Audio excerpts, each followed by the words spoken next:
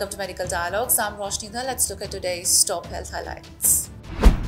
Myths and facts about menstruation. Menstruation continues to be associated with stigma, myths, and taboos among rural and marginalized communities in the country. UNICEF reports that approximately 1.8 billion individuals globally experience menstruation each month, including girls, women, transgender men, and non binary individuals. In 2013, a German NGO called Wash United initiated Menstrual Hygiene Day through a month long social media campaign aimed at raising awareness awareness about various aspects of menstruation. With so many taboos around sexual and reproductive health, many Indian women are fed misinformation about their periods and menstrual cycle. It is crucial to understand your body properly to avoid following false ideas or traditions that can harm your health or make your life uncomfortable. So I guess it is the right time to break those myths and know the real facts.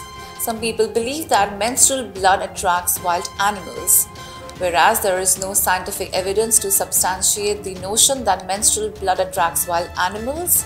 Menstrual blood does not possess a distinct scent that would attract animals more than any other type of blood.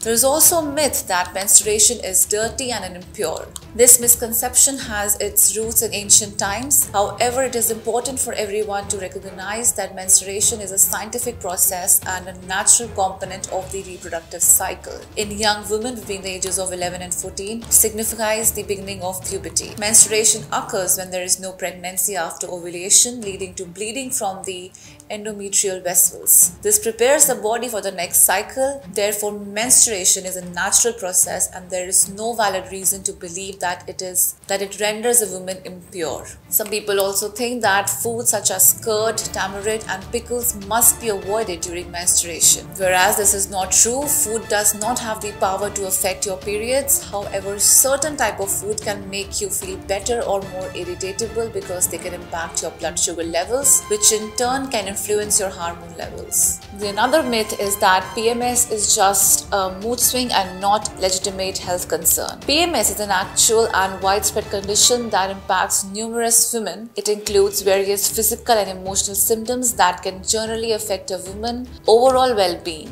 Identifying and addressing PMS is crucial in promoting women and their overall health. There is also myth that during menstruation, one should not exercise, whereas exercising can help reduce the symptoms of PMS and menstrual pain as well as relieve bloating. Exercise also triggers the release of serotonin, which can boost your mood and make you feel happier. However, some women experience heavy flow or intense menstrual pain. For these women, it may be necessary to take it easy and rest for one to two days. But still, in rural and marginalized communities, there are many misunderstandings, false beliefs, and social rules surrounding menstruation. By challenging and dispelling these misconceptions, we can promote better menstrual hygiene practices and improve the overall well being and respect for women in rural areas. Empowering women and providing them with information is crucial in this process, but it is important for everyone to understand that menstruation is a natural and normal bodily process and does not indicate impurity.